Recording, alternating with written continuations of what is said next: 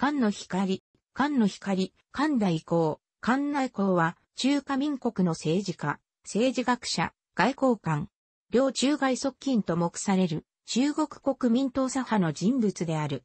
字は自明。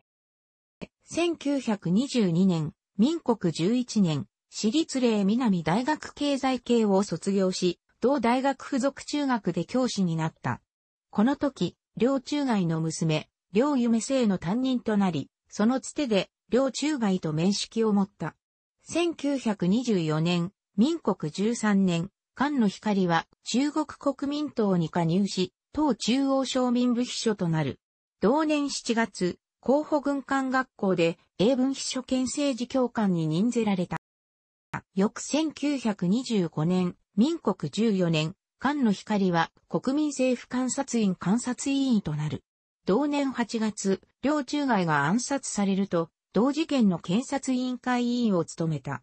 これ以降は、国民党左派の重鎮であった、王長明、王政営の引き立てを受けることになる。同年9月に、左弁電報局委員会兼左弁、越韓鉄路委員会委員、10月に、予算委員会委員兼調査国立関東、大学医会委員兼主任、11月に、関東南路各属行政委員兼、構造鉄路、左弁委員会委員を歴任した。また、国民新聞、民国日報などの機関紙の運営にも従事している。1926年、民国15年1月、中国国民党第2期全国代表大会で、中央執行委員、中央常務委員、青年部長に選出され、後に政治委員会委員となっている。5月に党中央の民部部長、10月に関東省党部執行委員となった。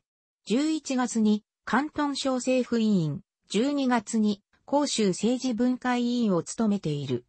1927年、民国16年4月、チャンス省政務委員会兼農工庁長長に移動したが、6月に早くも辞任する。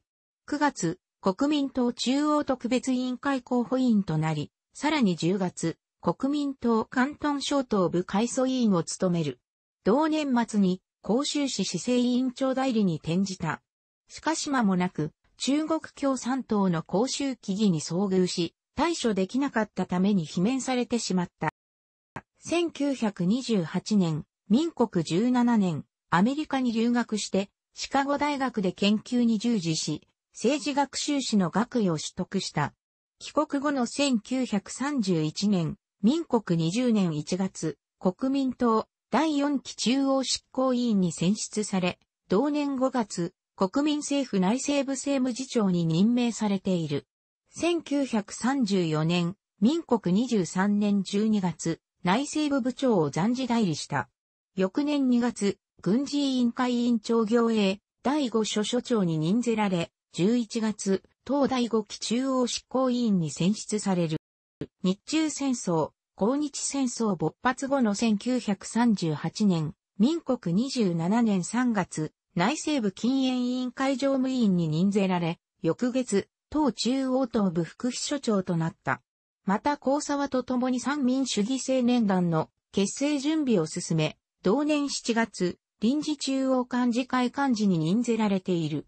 翌年3月、軍事委員会戦地統制委員会委員に任ぜられ、後にも国防最高委員会副秘書長、中央設計局副秘書長となって、戦時体制の整備に従事している。